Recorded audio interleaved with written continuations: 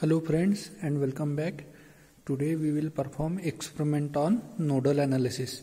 So for that purpose we are using this experimental setup. Okay and this is our circuit diagram. This is our circuit diagram.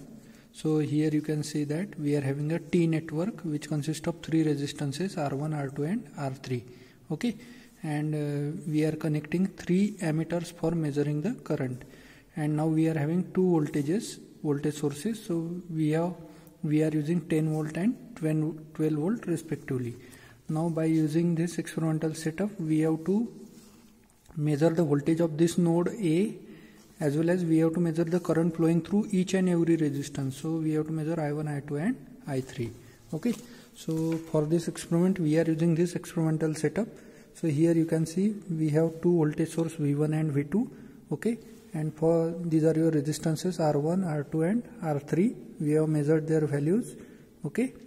And we are having three ammeters connections for three ammeters i1 i2 and i3 okay? Now this is your regulated dc power supply dual regulated power supply. So it is having two channels. So from this one we will take v1 voltage and from this one we will take v2 voltage okay? Now I will turn on the power supply. So according to your circuit you will need what you need? V1 to be 10 volt and V2 to be 12 volt. Okay. So I have already set those values. So here you can see that first channel will give you 10 volt. So we, we are using it as V1 and second channel will give you 12 volt. It is acting as V2 okay. So first channel I am connecting here. So 10 volt is connected here and again you have to remember while doing connections your power supply should be off okay? And the second channel I am connecting here. So your V2 12 volt will get applied in between these two points okay? Now I am using this as an ammeter. So you can see that here I have selected milliampere range and here I have connected the wire red probe in milliampere okay? So now I am having single ammeter and I want to measure three different currents. So what I will do while measuring any current uh, at a time I can measure only one current. So suppose I am measuring I1 so what I will do I will connect the ammeter in between these two points. Now at this time we cannot measure I2 and I3 so they are open points. So we will short those I2 and I3 so in this way I have shorted I2 and I3 because at this time I am measuring only I1 okay so now your experimental setup is ready. Turn on the power supply. So you will get some value of current. What you are getting? 1.95 milliampere. So this is nothing but your current I because we have connected the ammeter over here. So what you will get? I1 so note down this value. I1 is 1.95 milliampere. So we have written this value. Now similarly we will measure I2 so turn off the power supply. Now what we I will do I will connect the ammeter at I2 and I1 is replaced by short circuit. Okay. Again turn on the power supply. So what current you are getting? 3.7 3.72 or 71 milliampere. Note down this value. So we have noted this value 3.72 milliampere. Okay. Now last value is I3 so again what I am doing. Now I am connecting the ammeter to here at I3 position and I2 is replaced by what? Short circuit like this okay? Again turn on the power supply. So what you are getting? So carefully look at this symbol what you are getting? Minus 1.81 milliampere. So note down this value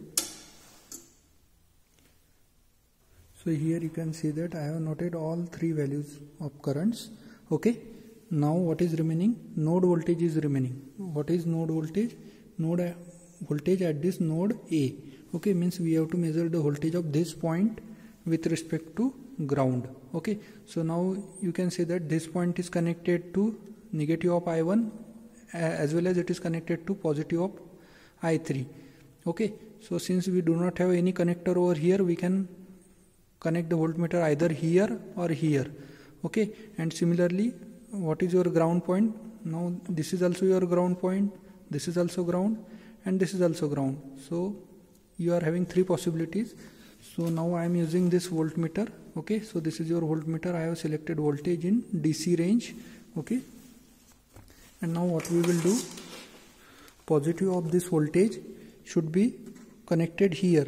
Since this at this point we do not have any connector so we will touch this point. At this point okay. So we will connect positive over here and negative to the ground line. So ground line is connected to three, these three terminals. So we can connect at any point okay. And you have to turn on the power supply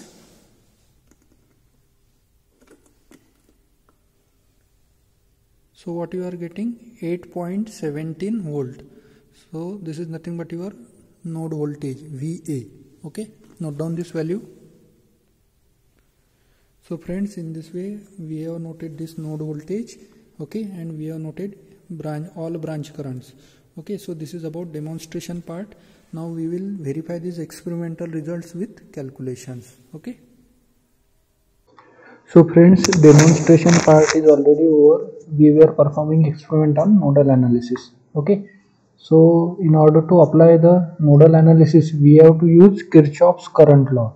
So what I will do I will redraw this diagram over here and then we will apply KCL. So friends this is your circuit diagram. On this side you are having 10 volt. Here you are having 12 volt okay? And this we are considering as node A. So voltage at this node A will be VA okay now what we are assuming suppose current I1 is coming through R1 and then it is getting divided into two parts. Some current is flowing through this second resistance R2 so we are calling this as I2 and this we are calling I3 okay so if you apply KCL over here you have to apply KCL okay at node A okay so what does this KCL indicates sum of incoming current is equal to sum of outgoing currents so I1 is your incoming current okay and I2 and I3 are outgoing currents. So I1 is equal to I2 plus I3. This is nothing but your KCL equation. Okay. So now solve these equations. So I1 is flowing from 10 volt towards VA. So what we will write 10 minus VA upon resistance. So what is the resistance? It is flowing through R1 is equal to what is I2?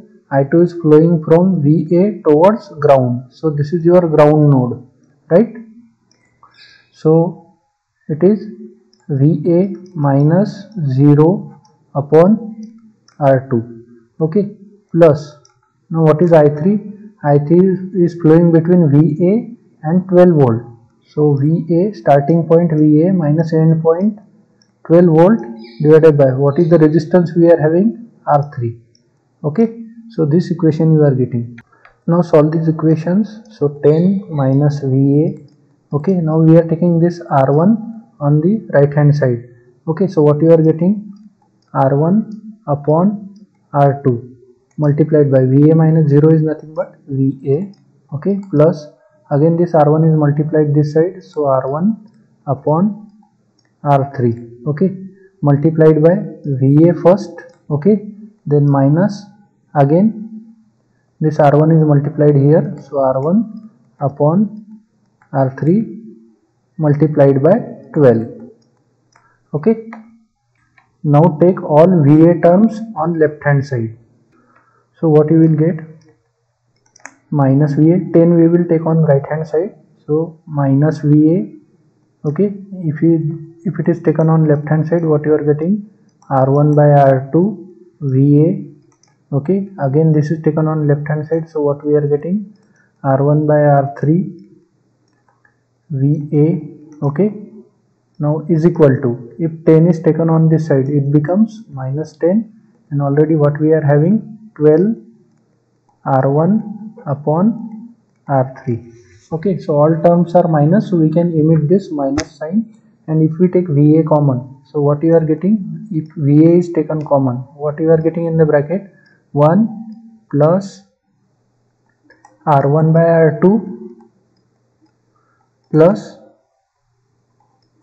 r1 by r3 okay is equal to. Now all minus signs are cancelled so what you are getting here? 10 minus 12 r1 upon r3 now put the values of r1 r2 and r3 okay? So when all the values are substituted you are getting this equation. Okay? Now we will do all the calculations. We will get the value of va okay? So here we have removed all the negative signs. So this should be positive. Okay? Again this will be positive. Okay? And when we solve this finally what is the answer we are getting? 8.30 volts. Okay so this is the answer we are getting. So friends this is now our node voltage for node a. Okay now verify this result with what is the what you are getting? 8.3 volt. And what was your calculated result? 8.17 okay so 8.3 and 8.17 so we are getting almost similar value. So this indicates that our experiment is correct whatever little difference you are getting it is due to the instrument error. Okay? So we are getting almost similar value. So our half part is over. Now what we have to do we have to calculate current for each and every branch. Okay? So now we have the value of this voltage. Okay? Node voltage we are having. So now we will calculate all the currents. Okay? So this was your first step. Calculation uh, sorry application of Kirchhoff's current law at the node A. Okay and now uh, in the second step we, we will do what? We will calculate all the branch current. Okay so calculation of branch currents. So friends we are having three branch currents. I1 okay so what is the formula of i1 so here we have written the formula of i1 10 minus va upon r1 okay so 10 minus va upon r1 okay.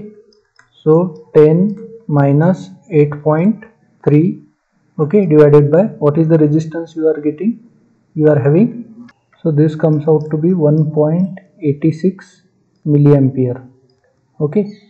So if you compare this value with our experimental value it was 1.95 milliampere.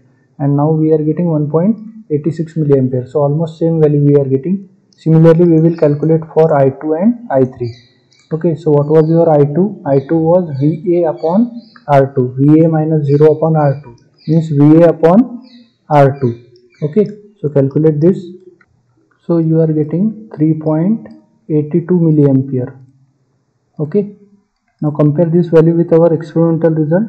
Here we are having 3.82 and here we are having 3.72 so almost same value we are getting. Okay similarly we will calculate i3 so now i3 is va minus 12 upon r3 put the values.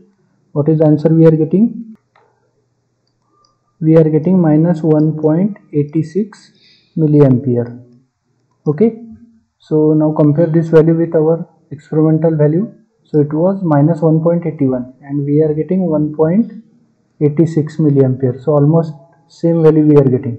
So in this way we can uh, apply this nodal analysis to calculate current flowing through any branch of any network, linear network. Okay, so we have seen that our calculated result and experimental results are almost similar. So in this way you can apply the nodal analysis to any linear network. Okay? So thank you very much for watching this video. If you are having any doubts and difficulties please let me know. Okay? Thank you for watching this. Have a nice day thank you